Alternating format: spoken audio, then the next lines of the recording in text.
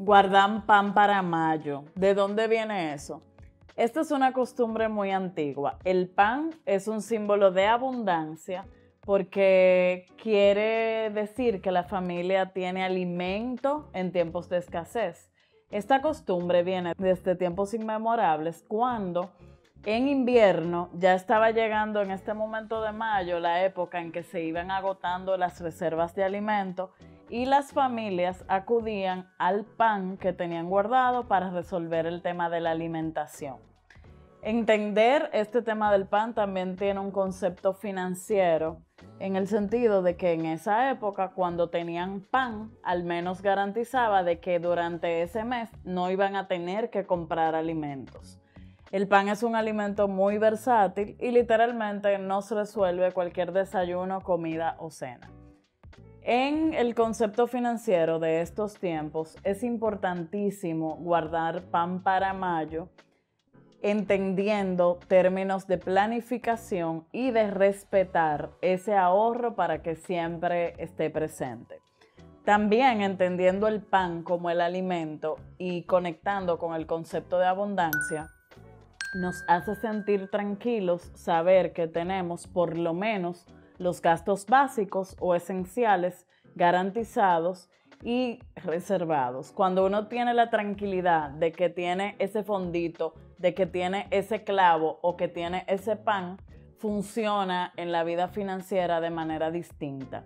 Es importantísimo que el concepto de que no gastemos todo en los tiempos buenos, de que siempre sepamos que las cosas se pueden complicar y muchas veces el principal enemigo de las personas tiene que ver con el concepto de ser demasiado optimistas. Cuando todo va bien, se nos olvida que en algún momento las cosas pueden complicarse o que pueden escasear. Me encanta el concepto de siempre tener dinero o tener recursos porque cuando tú sabes que tienes lo mínimo garantizado, no te manejas en una sintonía de escasez y desde ahí todo es diferente. Te quiero invitar a que utilices tu guía Avanza o cualquier método que tengas para controlar tus finanzas y puedas ayudarte a que ese pan para mayo no te falte. En la guía Avanza hay un concepto que se llama flujo de efectivo y tiene mes a mes un detalle de todo lo que ganas o tus ingresos y todo lo que gastas o tus egresos y al final del mes te va mostrando cuánto se va quedando realmente contigo una vez que tú manejas el dinero. Hay muchas personas que se esmeran por ganar dinero, pero que son malísimos gestionando el dinero que, les, que reciben o que manejan. Cuando tú vas viendo todo así en perspectiva, esto te ayuda a entender primero qué tan eficiente eres al conservar tus recursos. Para que el pan para mayo exista hay varios trucos y hoy te los quiero compartir. El primero sería tener claro esa, esa norma de que una parte de tu dinero no está disponible para que tú la gastes, de que una parte de tu dinero tú la tienes que ir reservando. Otra forma es ayudarte con retos o desafíos para que hagan el ahorro de una forma más simple para ti. Lo primero sería eh, dedicar una cuenta donde ahorres de manera automatizada y que ese monto no pase por tus manos. Transferir en automático. Consulta con tu banco porque es muy probable que cada banco tenga una cuenta donde puedes reservar tu ahorro y automatizarlo. Eso hace el ahorro que de verdad exista. Un segundo truco que te puede funcionar es guardar todo el menudo. Aunque no lo creas, una persona que va guardando todo su menudo sin darse cuenta puede llegar un momento al final del año de guardar quizás ese fondito de emergencia que hoy se queja de que no, de que no es importante. También prestar atención a los gastos hormiga, que son esos gastos tan sencillos que tú no lo vas sumando y que poco a poco pueden hundir una embarcación.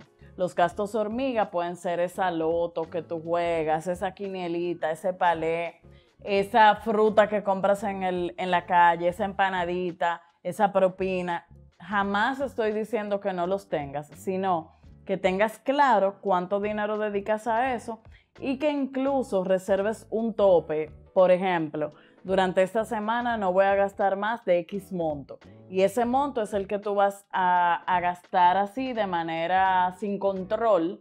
Y tener ese tope te va a ayudar bastante a que primero no andes con restricciones, que tengas menudo y segundo que tampoco te pases y gastes de más. Porque siempre digo, un ejemplo de alguien que gasta 300 pesos al día, y, ese es un número que cualquiera lo puede gastar, al final del año son más de 100 mil pesos. Tenlo presente.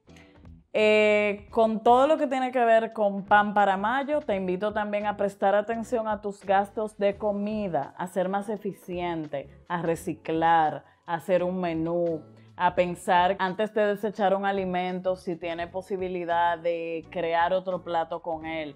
A veces nos sobra poquito de carne y pudiéramos en la noche hacer una ensaladita con esa carne.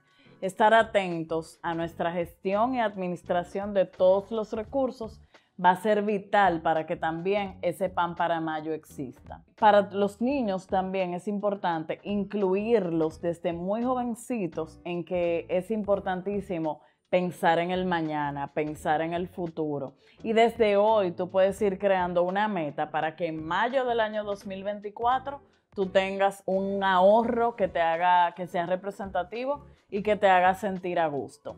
Si una frase me identifica justamente esa, guardar pan para mayo, porque nos da tranquilidad, nos da alegría y sobre todo es contagiosa y nos permite vivir en abundancia. Comparte este video y dale like con todos tus seres queridos para que sigamos apoyando un buen mensaje para nuestra vida.